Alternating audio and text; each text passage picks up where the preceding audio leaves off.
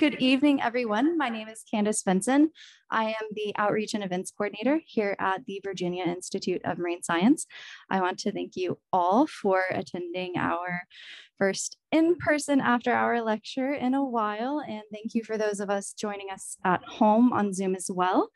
Um, this lecture series is made possible by First Advantage Federal Credit Union, Marine Sonic Technology, a company of Atlas North LLC, Phillips Energy, and Canon, as well as the many other supporters of VIMS' outreach programs. So let's get into our talk for this evening.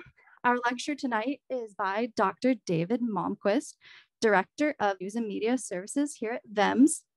Dr. Malmquist has been with VIM since 2001. He, his office is responsible for media relations, the VIMS website, and our social media channels.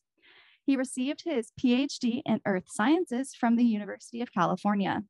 His dissertation research was conducted in the Galapagos Islands. This and subsequent research focused on paleoecology and paleoclimatology. He was previously at the Bermuda Institute of Ocean Science as a research scientist and communications manager for the Risk Prediction Initiative, a public private partnership between climate scientists and insurers. Dave and his spouse, Dr. Deb Steinberg, have two sons and live in Williamsburg. In his spare time, he enjoys biking, kayaking, and soaking up local history. And with that, I will turn it over to Dr. Malmquist. Thank you, Candace. So I'm sure for all of you, it's it might be a little odd to be in a room with a lot of other people. And it's, I have to let you know, it's also a little odd for me to be in front of a room with other people because I feel like many of us, I haven't really spoken to more than like two people at a time for the last year and a half. So um, I'm really excited to be with you tonight to talk about my book, The Chesapeake Bay Explorer's Guide. And what I'm going to do is um, talk a little bit just how the book came together and the philosophy behind it, what it's sort of trying to accomplish. Um, briefly about the process of, of writing the book and, and publishing it, putting it together. A few selected highlights um, from the pages, ripped from the pages of the book, brought to you as, as uh, highlights, and end with some thoughts about the sort of the future fate of the Chesapeake Bay. So why did I decide to write this book? I actually was approached by a publisher, um, Globe Pequot Press, which is a, a, it's an imprint of Rowman Littlefield, and it's typically does travel guides, those kinds of things. And they were looking for someone who could write about the Chesapeake Bay region really broadly. And I think that that's sort of a, a theme that I'll come back to a number of times this evening is sort of the holistic nature of this book. It's not just about the plants and animals of the bay, but it's also about the history and the culture. And they were looking for someone to write it. And I sort of thought like, huh, I would really like to write that book. So I, I worked with the um, acquisitions editor and we went back and forth and, and came up with this idea of having this book about the Chesapeake Bay Explorer's Guide. And subsequently, during this process, I worked with two other editors. You start with the acquisitions editor, then the production editor, and then the marketing editor. And so I'll talk about those different processes as we go along. Thinking about this book, what it, you know, I've, been at VIMS for 20 years, and it's just been an absolutely wonderful education about marine science in the Chesapeake Bay. So I've gone to you know, pretty much every noontime, our four academic departments have noontime seminars. So I've gone to almost all of those over the last 20 years. And after hours lecture series, just like this one, um, public tours, festivals and fairs, all kinds of just really wonderful opportunities for me to be gathering knowledge about the Bay from people who really, really know the Bay, um, you know, in all aspects of it from the physical oceanography to the biology and the, the, ecology and you know, the plants and the animals and all that stuff. And I really just wanted to have an opportunity to, to share some of that knowledge that I gathered with, with an audience outside of VIMS and sort of a more public audience and people who might not be that um, specifically interested in science, but just in the Bay itself. Want to very briefly say something about, those are sort of the proximal reasons that I wrote this book, but for if there's any younger people in the crowd and you know in the Zoom crowd, just how important I think it is when growing up to be exposed to the outdoors. And I think if you have that kind of childhood, you just sort of take it for granted and think that everybody grew up that way. I grew up in northern Minnesota, and my mom and dad were both um, just, you know, that's how we spent all of our time. We'd berry pick, we'd fish, we'd hunt, we'd go boating. We were just always outside, and it was just what we did. And so by the time I was in high school, the picture on the, your uh, whatever direction that is, that's my high school yearbook pictures. I was already, you know, Nanook of the North there in my kayak. So they did a really good job of just instilling in me a love of nature. And I hope that, that comes out in the book. Okay, so how about the, the philosophy of putting this book together? And I really, you know, the first thing we always talk about when doing science communications training is who is your audience? And as I alluded to earlier, I'm really looking at a, an audience of bay enthusiasts, people who might be, you know, visiting the bay, who moved here, or who have lived here their whole lives and you know don't have a background in science, but are just interested in this beautiful um, natural resource we have in our backyard that we have in this 64,000 square mile watershed of the bay and 18 million people. There's a lot of people out there that I think could really benefit from learning more about this, this incredible resource. And then you know, once I've thought about that audience, it's like, so, what do I, what do I want to share with them? And I'll get, I'll talk about this more in just a moment.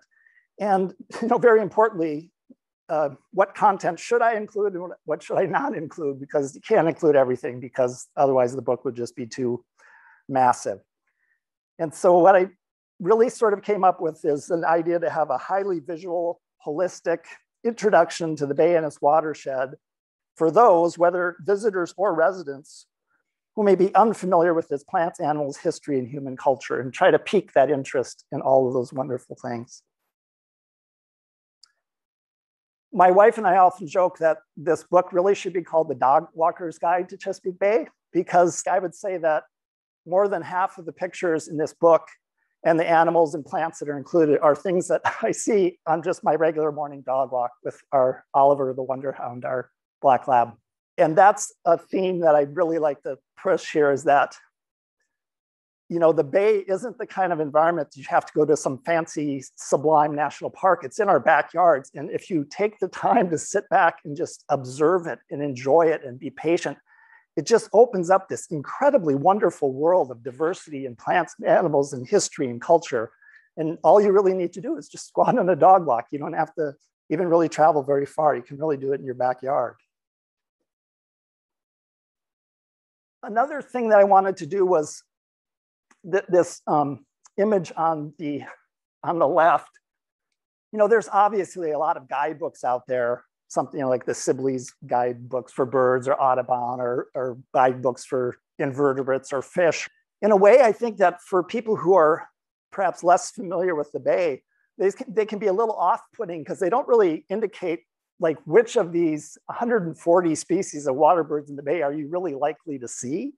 And the bay has more than 4,000 species of plants and animals in its watershed or, or really just around, you know, directly related to the bay. So I obviously had to, you know, do some culling. And so I really wanted to focus on animals that are common and commonly encountered. So these are the things that you're gonna see, for instance, on your morning dog walk.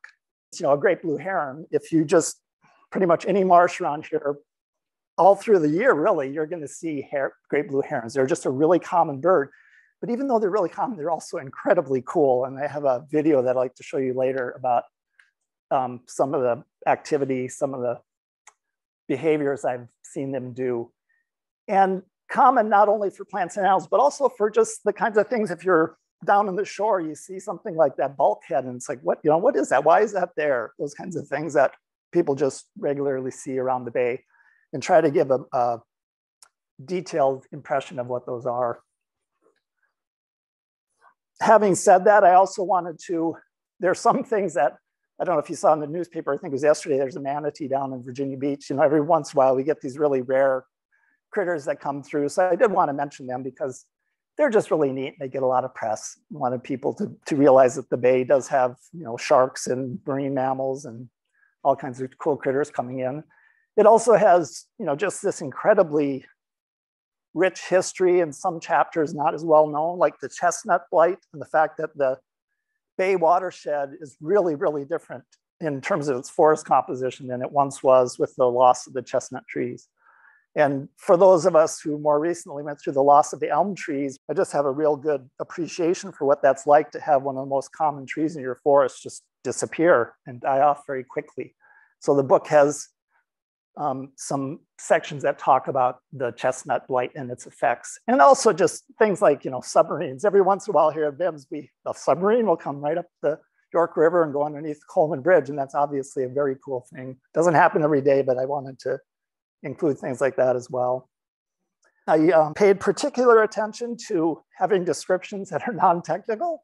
And I talked to some folks out in the lobby earlier who are master naturalists. And if anybody's ever, for instance, read the Flora of Virginia, it's an it's absolutely wonderful um, reference for trying to figure out what plants grow in Virginia, but you pretty much have to have a PhD in botany, in my opinion, to understand what it's saying because it's using all of these terms.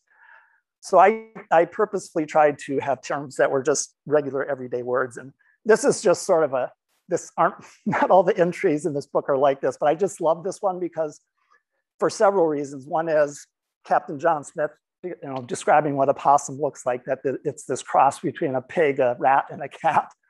Um, but also just that sense of wonder for a person who had never seen a marsupial before or a possum trying to describe this thing um, I think that's that's something that runs through this book is that sense of wonder for things that today we might just think are sort of you know common and things that you'll see at night on the road, either alive or unfortunately smushed. I also took pains to make um, the, the introduction and the sections that we'll talk about here in a moment. Each one of them opens with a, a few pages, just sort of trying to explain and describe how particular bay habitats work? How do they function? And what are the things, some of the things that are threatening their health? And as part of that, you know, tried to make some very simple graphical explanations to help um, explain those types of concepts. So the book is based on habitats. And this is a, a diagram from the Center for Coastal Resources Management at VIMS in some of their educational materials. And it's really based very closely on this is the way that the book is sort of structured, the architecture of the book. But not very many people, unless you're at VIMS, would say something like, and I'm going to spend the day in the regularly flooded low marsh in the salt pan. They'd say, like, I'm going to go out paddle in my kayak. And so the book is, is structured by regular things that people would do. You know, they're going to go spend a day on the beach, or they're going to go on a paddle in their kayak, or drive to the place in the bay, the bridge over tunneled waters, maybe go down to a marina, down to the docks in, in the Port of Virginia or Norfolk, where the big boats are coming through, and maybe going out fishing. Or the last one there on the right, a walk through woods and fields. You know, for a book about the bay, it contains quite a bit of stuff about the watershed of the bay, and that's really important because the watershed is where we live, and that's really where a lot of the bay's uh, threats are coming from. So I think it's important to you know, keep that in mind and, and to have some content that's focused on that. Another, you know, design criteria or philosophical criteria is like which critters, you know, what do what do you include of those 4,000 species that are out there? Some are really obvious, you know, things like a striped bass. It's a fish that lives in the bay. It's very popular. So that's pretty obvious. You want to include that. But as I mentioned, things in the, wa in the watershed itself, like a sycamore tree, you know, say, what does it have to do with the bay? But I tried to make those kinds of links to show how things that are growing in the Bay watershed and their impact on the ecosystem and their predator or their, you know, the, item, the insects that eat them and the way they hold the soil in place and all those things. That's why we, I have those kinds of entries. And then finally, the fossils over there, my background is in paleontology. So the Bay also just has this wonderful fossil um, assemblages all across the Bay, both in Maryland and Virginia, if that was important to provide some information on those as well. The, the book also has on the left-hand side here, these yesterday sidebars. And if you notice their design, they look like those little highway markers and that's, that's on purpose. I, I sort of drive my family crazy because when we drive around, I'm always wanting to stop and pull off and, and read these markers. So the book also has these and it focuses on some of the just what I think are really cool historical oddities or things that you might see in your peregrinations around the bay and its watershed. Each of the sections also has a hand of man um, component. which in addition, so there's plants and there's animals, and then there's the hand of man, which is talking about things like boats and channel markers and duck blinds and oyster tongs, just those kinds of artifacts that you'd see if you're spending a lot of time along the shores of the bay. There's also two chapters on the people of Chesapeake, um, focusing on the Native Americans and the African American um, culture and the waterman culture in the Bay, because I think a lot of times those, those stories haven't been told. And it was a really fascinating part of the book, actually going through the Library of Congress archives to get photos like that one there, which I on the uh, right, which I just really love. That's from a beach um, up on the western side of the Maryland um, shore of Chesapeake Bay. And just to, to point out as well that, you know, there's a lot of lighthouses around the bay. There's lighthouse societies. So there's a description of the various kinds of lighthouses on the bay and where to see them. And of course, you know, you have to talk about dead rise work boats and the whole lineage and history of all the cool, um, you know, precursors to today's work boats. And also one of the things I, I you know, growing up in Minnesota, it's pretty much you go out on the lake, everybody has an 18 or 16 foot long, you know, aluminum boat. You come to Chesapeake Bay and there's there's an aircraft carrier that's coming by with a cargo ship. And there's just all these amazing um, vessels that you see. So the book does describe those in some detail.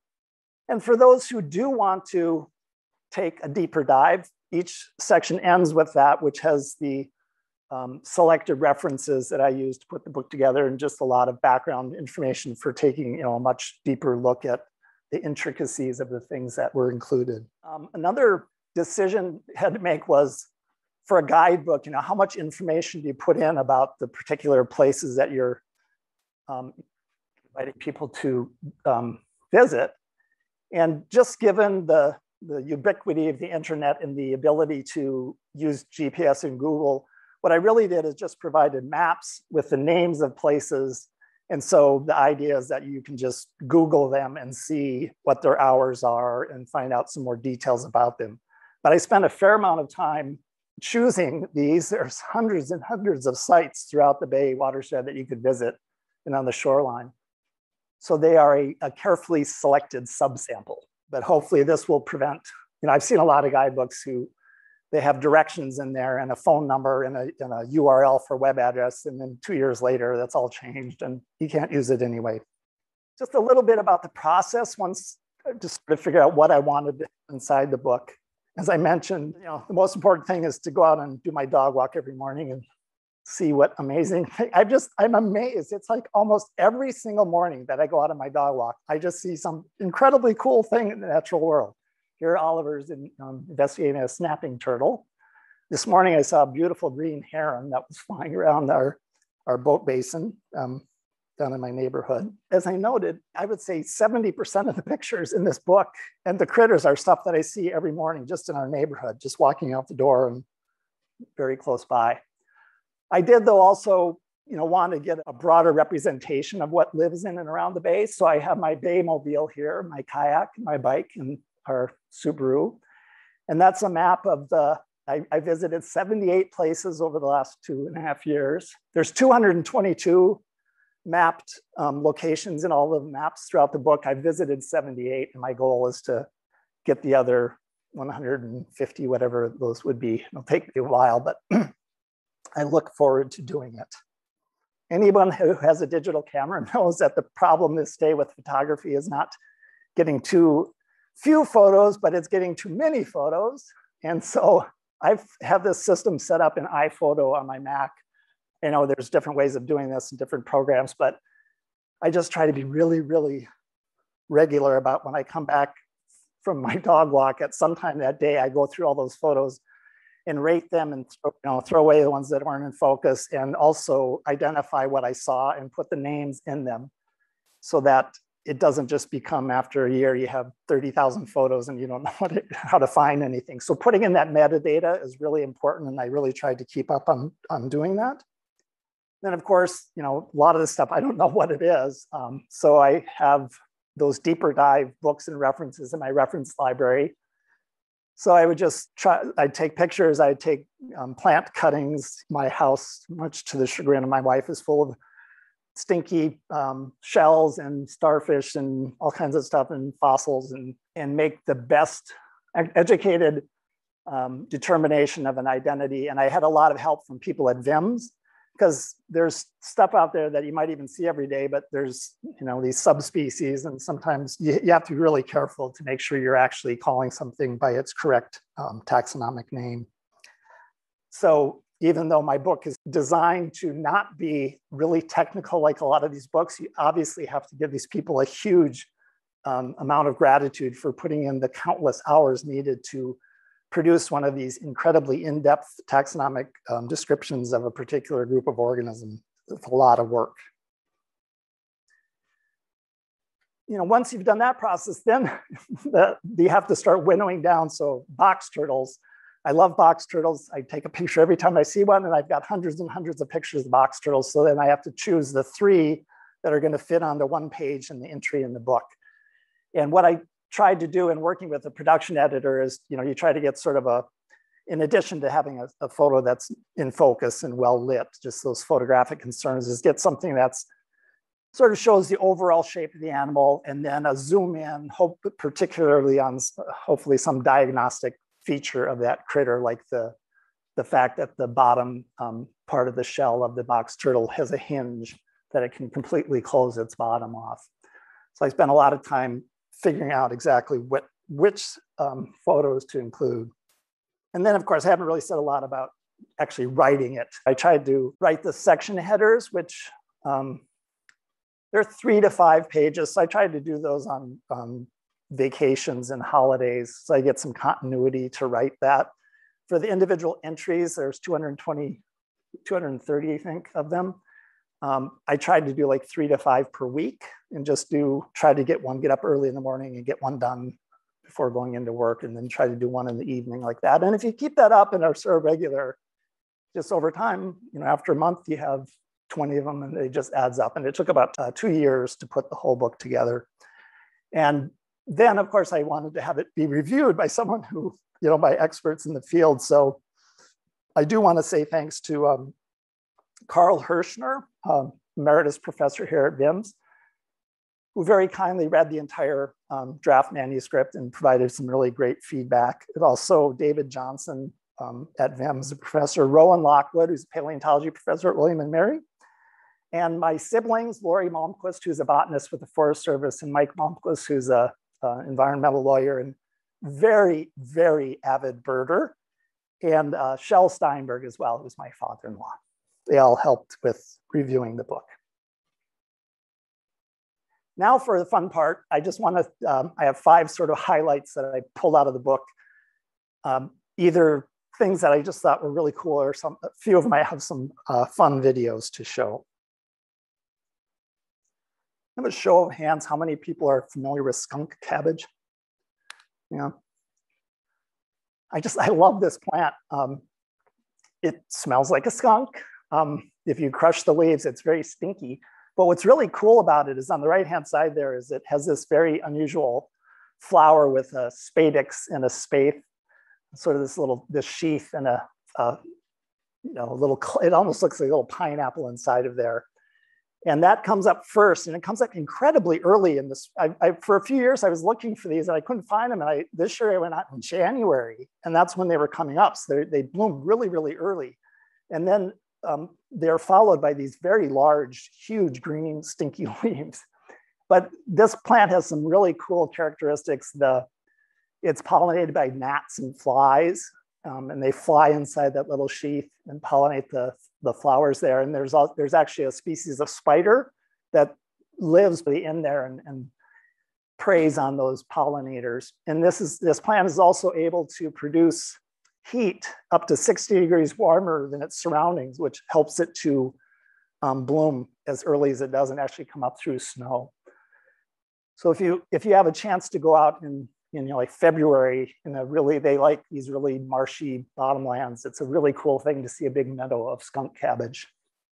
In terms of some of the human artifacts, I just love the, this idea of living shorelines and huge debt of gratitude to all the scientists at VIMS, Scott Hardaway and Donna Milligan and Karen Duhring and Carl Hershner and a lot of other people who have spent decades working to make this be, it's now, um, you know, in, in the Virginia code is preferred mode of shoreline protection in, in Virginia. So instead of having those bulkheads, the picture that you saw earlier, which don't even really work very well, and they also completely cut off the water from the land. You know, you imagine a terrapin or some turtle trying to come on shore to lay its eggs. With The bulkhead there, you just can't do it. And so these living shoreline approaches with an offshore breakwater and a tombolo and marsh grasses planted behind, you have marsh sills. They're incredibly engineered structures that look at the wave fetch and the bottom conditions and whether there's uh, some you know seagrasses offshore and what's onshore and how high the bank is. And they're very carefully constructed to protect the shoreline while also providing living habitat. And I just love the fact that there, if you drive around the bay now, you're seeing more and more of these, and they are now being um, encouraged by the, the powers that be for both municipal areas and for homeowners. Another historical highlight little tidbit to throw out there is I just, I love this. Um, the Frenchman's Map, which was uh, published in 1782 during the Revolutionary War. Um, as the name implies, it was drawn by a, someone from the French army from Lafayette's contingent. And what you're seeing there is that straight line running down the middle is, is Duke of Gloucester Street in Williamsburg, Dog Street. And on the left side where it splits, that's Richmond Road and Jamestown Road and the college with the Wren building right there. What I love about this, I, I first saw this, there's actually a um, recreation of it right outside the Williamsburg Regional Library in downtown Williamsburg is that it runs exactly between the watershed of the York River and the James River. And if you've ever you know, walked around here and can imagine this area before we had all these bridges, how incredibly difficult it must have been to actually travel by land through the Bay watershed, given all of these you know, very meandering tidal channels that are really, really hard to cross. They're sort of like they say about the you know, the Missouri River, it's too thick to drink and too thin to plow. So if you read the accounts of the both the Revolutionary um, Army soldiers and during the Civil War as well, up until fairly recently, these really impeded travel throughout um, our area of the Bay. And I love that it has left this lasting imprint on the middle plantation, which I'm sure that name came from the fact that it was literally planned in a place which would minimize the ability, you know, the necessity of going up and down through all these ravines that you would otherwise have to do in this dissected landscape. Okay, the great blue heron, like I said, a very common bird. You see them all the time, but I just, I, I find them endlessly fascinating and beautiful. And I want to show you a video, and I've seen this several times this year about just how much, how big of a fish they can actually eat.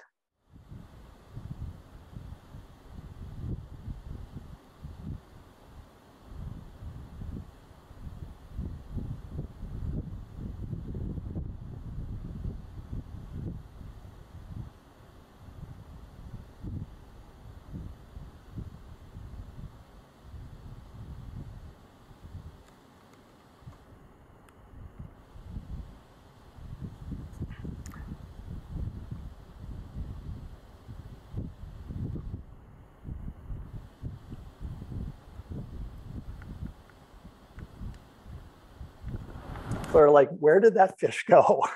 just, I'm amazed that it just disappears. You can't see it, and it's it's quite large. And I've I've seen that. Um, this again was just on a dog walk. I was out there and had my camera. End with this one. Um, I've heard that this might be due to the, the increase in the popularity of backyard chicken farming, but there's really been a, an increase in the fox populations um, around the Chesapeake Bay and we have both a red fox and a gray fox in our neighborhood. And for a long time, we, we kept hearing this, the weirdest noise at night. We're like, what is that? And, and then we noticed that at the same time, you know, there was this fox that kept coming into our yard and our dog would start barking. And we actually let the dog out and he would sort of chase it, but then he just stopped because we had one of those electronic fences. And, but the, the fox kept coming back and they, they seemed to develop this rapport but I want to show you this video again on a dog walk. I just walked out of our driveway and this fox was sitting here and I want to uh, play let you hear, if you haven't heard what these guys sound like, it's just unbelievable. You'll also hear our dog, Oliver. And the video is a little shaky because I had Oliver on the leash in one hand. I was trying to, to photograph it with the other.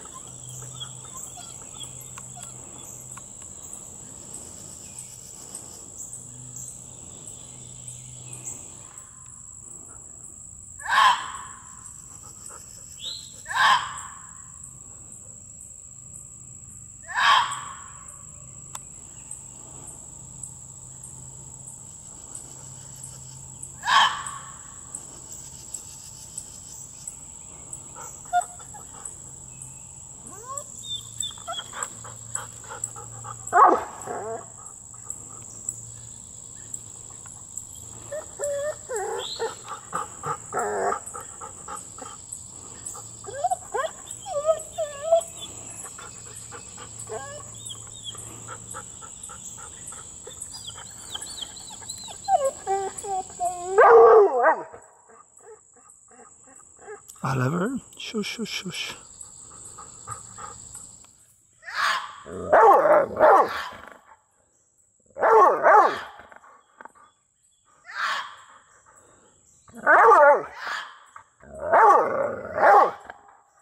You see, the, dog was starting to pull me wet there at the end. But have any of you heard that that sound?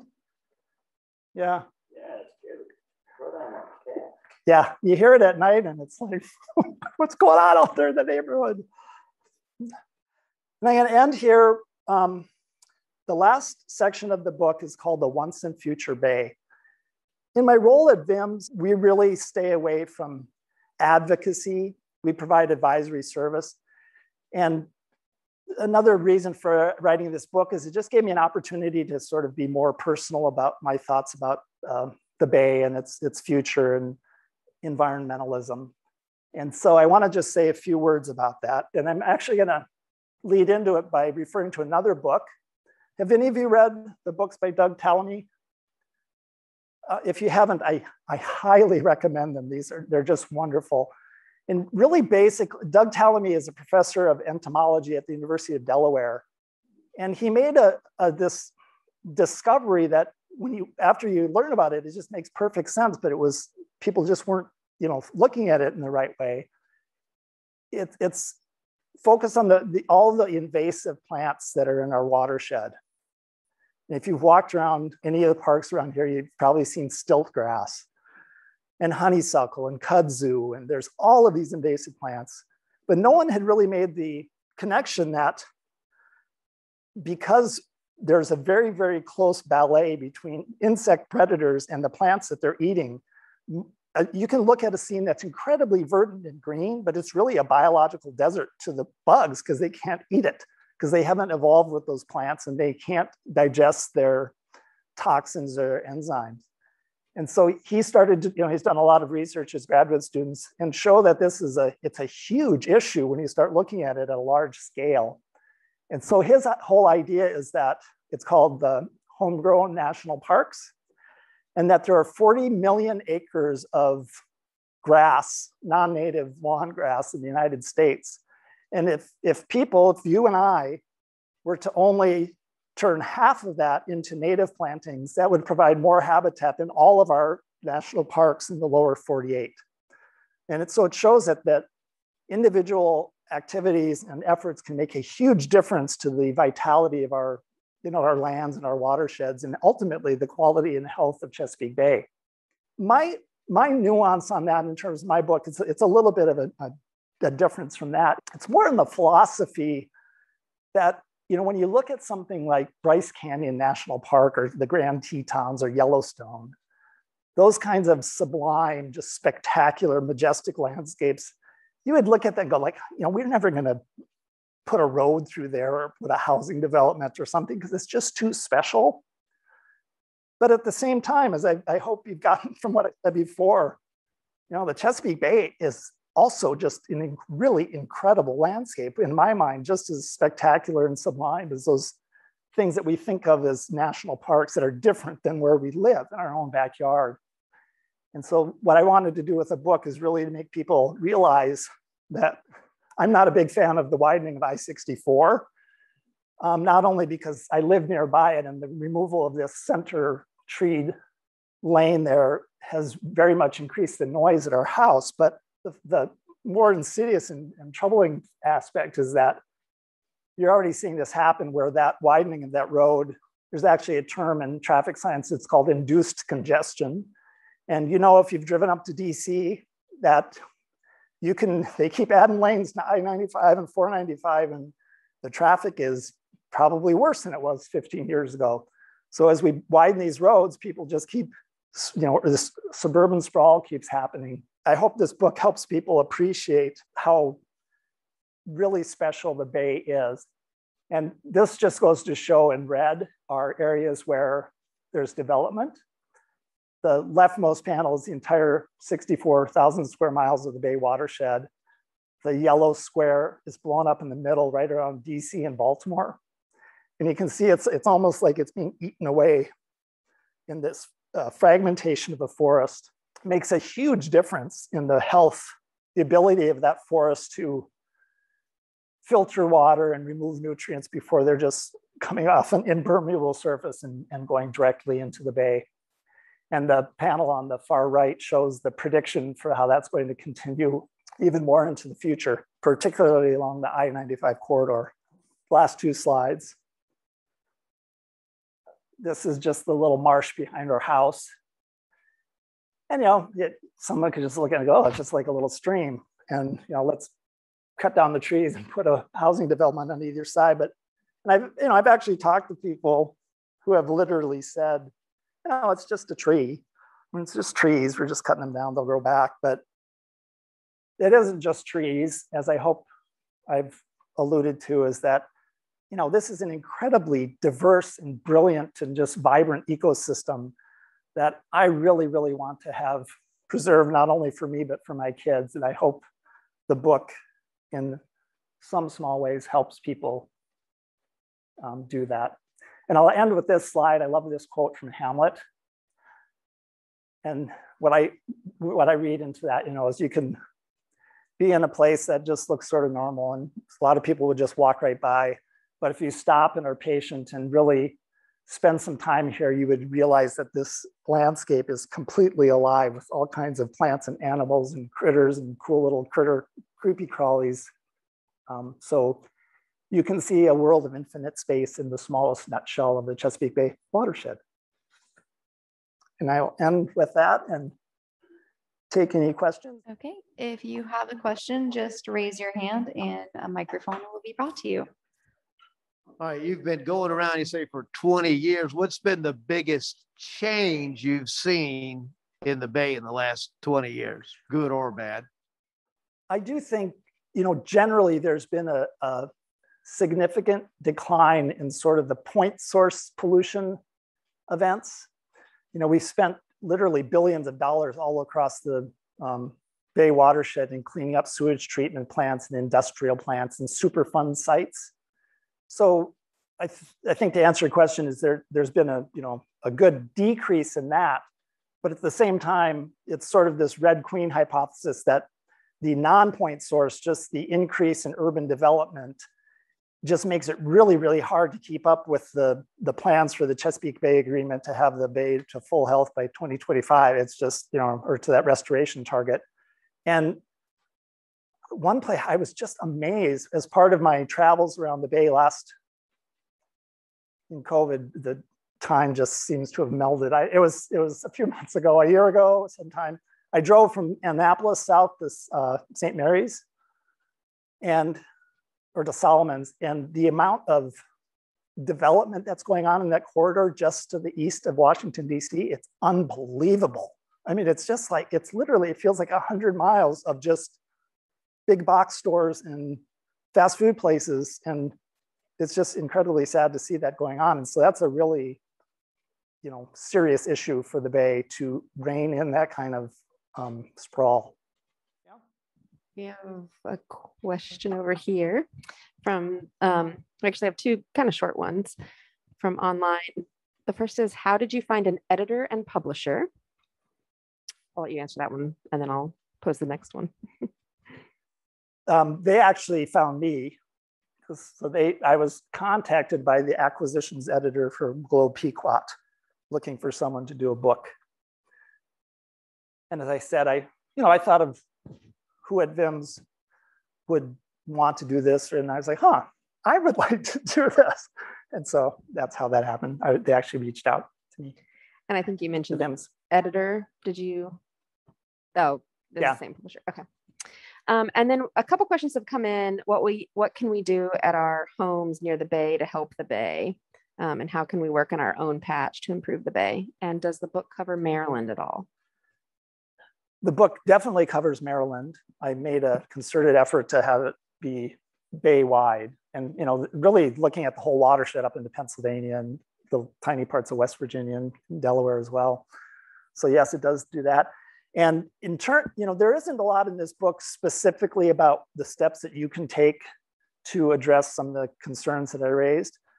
Um, I would say that Doug Tallamy's books, he, particularly um, Nature's Best Hope, has some really, really great um, localized advice for the native plants to plant and how you can make your own yard into a homegrown national park. And you know the extension, uh, the advisory service people at VIMS also have a whole bunch of great information about those kinds of things with from you know living shoreline treatment to also how to maintain you know impermeable to reduce impermeable surfaces and things like that. So there there are good um, resources out there. Hey, um, uh, do you mention unusual things like uh, unique uh, places like the Barrier Islands mudflats and stuff like that? Unique places. What? hmm Yeah, like uh, like um, the sp- Barrier Islands and stuff on Eastern Shore. Yeah, I don't really, you know, I, I stuck to the the Chesapeake Bay watershed, so I really didn't include the barrier islands of the seaside eastern shore. There are some critters that are, you know, a lot of the birds will be similar, but it, this book doesn't have a lot of the sort of more open ocean coastal beaches. It's really, I tried to focus on Chesapeake Bay beaches, but as you get near the bay mouth, you know, a lot of that stuff sort of wraps around down by Kiptopeke and those areas. Okay. okay. Thank you. Welcome. I did definitely include ghost crabs because I absolutely love ghost crabs. Um, love to go to the beach and watch the ghost crabs. I have another quick question from an online, and it won't take that long to answer. Um, Karen has not recovered from the heron swallowing the fish. Are you sure that the bird was okay after? it that? As far as I know, because um, on the way back from the dog walk, he was still there. And I've seen, I have, I have actually another video of one that it was the fish was too big and it let it go. It finally just it it had it had speared it and it was it was literally stuck on the end of its bill. And it was like, you know, trying to like, what do I do now? And then it finally dropped it and it landed and it didn't pick it up again. So I think the bird was okay. But I, I continue to be amazed about how they can do that. And I've seen YouTube videos of them eating alligators, you know, juvenile alligators, and it goes in there and it's like, where did it go? Well, you can't really see it. The other thing that's amazing about great blue hares is when they stand on one leg, try to find their other leg. It just totally disappears. I don't know where what they how they do that. it's like it's it just goes. It's like, oh. So thank you for being here tonight. And I, I really like the way you framed it as the once and future bay. And on, on that theme, have, do you, in the book, mention much about the impact of climate change on uh, on the composition and what we're going to be seeing in, in the future, no matter how hard we mitigate the the uh, pollution and, and Yeah. urban growth and all of that. Um, I do. There's there's a brief mention of that. I almost feel like because that's an area that I'm very very familiar with, I, I didn't go into it as much detail because I thought I would have added another 50 pages to the book. Um, but there's there have been some really good studies done. Um, a lot of global change studies are very global, but there's been some very good ones done on regional impacts, and those are in the deeper dive section. And I do discuss, you know, the fact of you know, just there's a lot of issues that are arising. Um, you know, one of the ones is the, the seagrass issue with eelgrass in the bay and the warming waters and the challenge that, that poses to eelgrass, which is a cold water species, and it's a really important foundational species for bay habitats. And what's going to happen as our water continues to warm. And, and also just changes in um, the, the forest composition of the watershed and how that might progress through time, especially given the fact that the forest is so fragmented now and it has all this edge habitat, which is where a lot of invasive species can come in and pro prohibit the reseeding of our native plants. And there's a, you know, there's a, there's a few, I guess, glimmers of hope, you know, that there's also new critters that are moving on, like shrimp seem to be uh, the, that are becoming more and more common in the bay as its waters warm. So I do mention it, but I don't go into great detail. like I said, I think that could be a, a whole other book. Uh, your book looks fantastic. And um, thank you. I was wondering um, if you had any insight into why water birds like um, herons and egrets, and I think even pelicans, rest on one leg. I don't. I mean, that's a great question. They do that. I mean, I guess, you know, when when a human is standing, I think doing this is sort of the same thing. You're sort of, but it doesn't, I mean, when you think about it, it's like energetically, that doesn't make sense to burden one leg by taking off another. And yeah, yeah. I think I've always wondered. Yeah. See, those, I love those kinds of questions. And I think that's exactly the kind of thing you want to think about on a dog walk. Another one I have is like, what is the deal with great egrets? They're literally like, you know, wearing a white dinner jacket and they're hanging out in this marsh that if you go there, you get completely covered with mud and they just stay perfectly spotless white. It's like, how do they do that and why? Then I don't think they seem very good camouflage unless it's a cloud. Great question. I, um, one of our online audiences has Googled it. And according to the internet, it's to conserve heat loss. Um, and we have two other questions online. Uh, have you taken a deeper dive into the recovery of the sturgeon in the bay? Um, this person noticed you included the picture of a young sturgeon. Yeah, there is an entry about sturgeon. Um, and that is a, a, really fascinating story about the efforts to restore sturgeon to the James River in particular.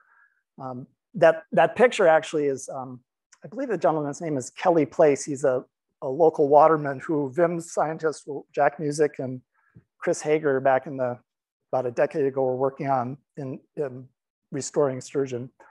So I, I, take a deeper dive in the sense that there is an entry on it and there is some uh, citations to the sturgeon literature, I think in the deeper dive section, but I didn't spend a lot of time um, talking about that issue specifically. And then one more from online. Will you write another book? They say in retirement. I don't know. Hopefully, you're not planning on doing that anytime soon for us here at VIMS. Um, perhaps maybe a book that's more personal. I do have an idea for another book. I'm not going to tell you what it is because I don't want the. Uh, oh, which actually reminds me of something. So I do have. I have. A, I actually have a whole bunch of ideas for I love those kinds of books. They're called like mini histories. There's like the, the, a book called Coal and one called Salt. They just talk about some substance or object or material that human society really uses every day, but we never really think about where they come from. So I have a, a several ideas about that. I also wanted, I forgot to mention that a lot of the page, um, the pages in here from my book, they, you saw they had the watermark of Globe Pequot on them. And that's because I, they are so concerned about, you know, theft of their property online. So that's why those watermarks are there. And it, that just brings up the other thing about something I didn't really talk about is just the fascinating process of working with a marketing editor about how you market a book nowadays, given Amazon's 80% um, of the book market and the demise of all these local bookstores. And it's just, it's really sad. Um, and it, it was a very eye-opening experience for me. I did, I, I went all around to local national parks and historic parks, state parks, uh, the Mariners Museum, the Living Museum, and try, you know, said like, hey, this book is here. I think your your visitors would enjoy it. And I think a lot of them did stock it, but I also got a lot of people who saying like, we just can't stock books anymore because no one buys them in a, in a bookstore. Which is, I find very sad. When I'm, when I'm traveling, I always, I always buy a book. I always go into a local bookshop and buy a book just because I want to support them. The only problem is my house is like, then I have to buy a bookcase to put the new books in. You know how that goes. I think we'll take maybe, there's one more question here in the audience, and then we'll have one more question online, and then we'll be done. Um, I frequently see egrets flying off in the same direction most evenings. Are they heading to a rookery? And I've also heard that the locations of the rookeries are kind of a secret. Any, any truth to any of that? I think that's exactly right. Um, I live in in Queens Lake neighborhood on Queens Creek, which is a tributary of the York. And I actually found the rookery and it's, it's on the Cheatham Annex uh, naval, part of the Naval Weapons Station. There's a lake there with an island in the middle of it. And that island is just totally covered with egrets. So I think that's what they're, in that area at least, that's where they're going. So I think that they're probably just finding areas that are really, really inaccessible and, and you know, nesting or roosting there, and that's why people don't really see them that often. But I also I, I like that question from the viewpoint. I'm I'm always fascinated by how habitual animals are. If you spend enough time going to the same place over and over again, it's like you start to yeah. I know, like the green heron I saw this morning. I know exactly where he's going to be on the dock and what he's going to do. He's going to fly over to that tree, and he just does it every day. Okay, and our last question from online. Have you observed the catching of edible shrimp in the bay? Or do you know anything about that? I haven't observed it. I've, I've read about it. And I've actually just saw a uh, Facebook post the other day about someone in, in, a local restaurant serving them. It's, it's becoming a commercial um, product in the bay. I do see them, for some reason, they are, they're up on the dock in our little marina in our neighborhood. I don't know if they get up there at high tide and get stuck or whether birds drop them there, but I have seen some of those shrimp. So does anybody else know whether that's about the white, the white shrimp fishery? Candace, you look like you, no? Oh, I thought you were nodding knowingly. Mary does. We have Mary Fabrizio, the, fisheries department chair here there's a small scale fishery for shrimp in Chesapeake Bay that the Virginia Marine Resources Commission has started uh, about a year or two ago. Uh, and it's it's just a small lottery based um, system where commercial watermen can enter the lottery and get a license. Um, but it's very small right now, but it's going to probably be growing. And we're doing some research on that to help support the growth of that fishery. one great thing about writing a book when you work at VIMS, you can always turn and there's an expert on everything. It's awesome. thank you, Mary. Awesome. Well, thank you so much, Dr. Malmquist, for doing our first in-person after hours again in a while. Um, and thank you to everyone joining us online. And thank you to everyone who was able to come join us in person. And for any information on upcoming events, make sure to subscribe to eTidings or check vims.edu slash events. And we will see you in September. Thank you.